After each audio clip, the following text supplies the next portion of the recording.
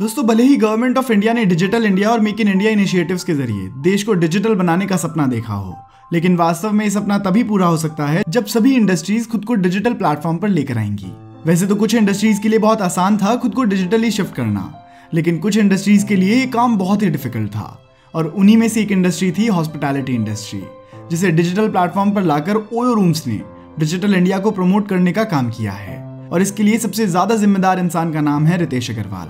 जिनकी net worth 1.1 billion dollar से भी ज़्यादा है। और आज की इस वीडियो में हम बिल्कुल इसी यंग ऑन्टरप्रेन्योर की सक्सेस स्टोरी के बारे में जानने वाले हैं। तो रितेश अग्रवाल नामक इस इंडियन ऑन्टरप्रेन्योर का जन्म 16 नवंबर उन्नीस सौ तिरानवे को ओडिशा के बिसम कटक में एक मारवाड़ी परिवार में हुआ था, जिसके बाद ओडिशा के तितलागढ़ में उनका बचपन गुजरा। रितेश ने अपनी पढ़ाई सेक्रेड हार्ट स्कूल से पूरी करी, जो रायगढ़, ओडिशा में स्थित है। अपनी इंटरमीडिएट की पढ़ाई पूरी करने के बाद रितेश ने Saint John senior secondary school से अपनी स्कूलिंग कंप्लीट करी। और फिर आगे की पढ़ाई के लिए उन्होंने दिल्ली के Indian school of business and finance में एडमिशन ले लिया। लेकिन बाद में उन्होंने कॉलेज छोड़ दिया, क्योंकि अपनी ज़िंदगी को लेकर उनके पास कुछ और प्लान्स थे। वैसे तो रितेश अग्रवाल पढ़ाई में ठीक ठाक थे, लेकिन पढ़ाई के अलावा उन्हें बिज़नेस में भरपूर इंटरेस्ट था। और सिर्फ़ तेरह साल की उम्र से ही उन्होंने सिम्स बेचनी शुरू कर दी थी। रितेश छोटी उम्र से ही बिल गेट्स स्टीव जॉब्स और मार्क जकाबर्ग जैसे लोगों से बहुत प्रभावित थे। दोस्तों अन के बारे में तो आप जानते ही होंगे। कि ये इंडिया का लार्जेस्ट लर्निंग प्लेटफॉर्म है, जहाँ सिक्स क्लास से लेकर आईआईटी तक के कोर्सेज अवेलेबल हैं। लेकिन अब मैं आपको वो बात बताता हूँ जो आप नहीं जानते होंगे। तो आने वाले दिनों में 23 जनवरी, उनतीस जनवरी 6 फरवरी और 13 फरवरी को अन अकेडमी क्लास सेवन से twelfth I I T JEE NEET UG और नीट यूजी ड्रॉपर्स के लिए अन अकेडमी प्रोडिजी टेस्ट करवाने वाली है। जिसमें आप ऑल इंडिया लेवल पर कम्पीट करके MacBook iPad iPhone Amazon dot जैसे 10 करोड़ वर्थ एक्साइटिंग प्राइसेस के साथ ग्रेजुएशन या पोस्ट ग्रेजुएशन के लिए 20 लाख रुपए तक का कॉलेज ग्रांट जीत सकते हैं। ये टेस्ट एक घंटे का होगा जो कि हिंदी और इंग्लिश दोनों में होगा। और टेस्ट के बाद इंडिया के टॉप टीचर्स का बनाया हुआ डिटेल स्कोर कार्ड और वीडियो एनालिसिस आपको मिलेगा। एक बात और, अगर आपको लगता है कि इतने कम समय में तैयारी कैसे होगी तो टेंशन न लो, क्योंकि 15 जनवरी से 30 मिनट्स के प्रैक्टिस टेस्ट भी करवाने वाले हैं। तो डिस्क्रिप्शन में दिए गए प्रोडिजी रजिस्ट्रेशन लिंक पे क्लिक करो।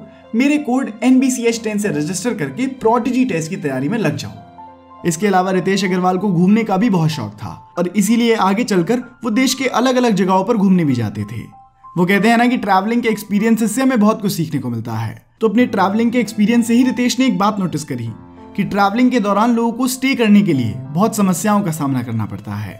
जैसे कभी उन्हें बहुत ज़्यादा पैसे देकर भी बेकार सी जगह रहने को मिलती है। और वहीं दूसरी तरफ़ कुछ लोगों को कभी कम पैसों में भी बहुत अच्छी जगह मिल जाती है। तो रितेश ने सोचा कि क्यों ना कुछ ऐसा स्टार्टअप शुरू किया जाए जिसके ज़रिए लोगों की ज़रूरत को पूरा किया जा सके और उन्हें बजट में एक अच्छा होटल रूम प्रोवाइड करवाया जा सके। बिल्कुल इसी सोच के साथ रितेश अग्रवाल ने एक ऑनलाइन बुकिंग कम्युनिटी की शुरुआत करी और करीब 18 साल की उम्र में रितेश ने ओरावल स्टेज प्राइवेट लिमिटेड की शुरुआत की। ओरावल एक ऐसा स्टार्टअप प्लेटफॉर्म था जो हर जगह में मौजूद होटल्स की लिस्ट बनाता था और लोगों को बजट के अनुसार वो रूम्स प्रोवाइड करवाता था। ऐसा कहा जाता है कि उन्होंने साठ हज़ार रुपए इकट्ठे कर कर 2011 में ओरावल की शुरुआत गुड़गांव में एक होटल से करी थी।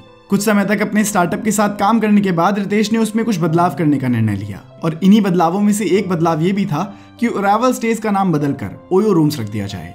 उसके बाद फिर उन्होंने अब उन सभी होटल्स के साथ पार्टनरशिप करनी शुरू कर दी, जिनकी लोकेशन अच्छी हो और जिन्हें अपने रिवाइवल के लिए किसी सहारे की ज़रूरत हो। और इसके ज़रिए ओयो ने अपनी खुद की ज़बरदस्त ब्रांडिंग भी करी। और क्योंकि इनकी सर्विसेज़ से कस्टमर्स इतने ज़्यादा खुश थे तो समय के साथ और ज़्यादा होटल्स इनके साथ जुड़ने लगे। और जैसे जैसे ओयो के साथ होटल जुड़ते गए वैसे वैसे ओयो रूम्स की पहुँच लोकल एरियाज़ के कस्टमर्स तक भी पहुँच गई। और क्योंकि आरामदायक रूम्स प्रोवाइड करवाने के अलावा, यहाँ कस्टमर्स की हर तरह की फैसिलिटीज़ का ख्याल रखा जाता है। तो अब कस्टमर्स का इसके प्रति आकर्षित होना बहुत लाजमी है।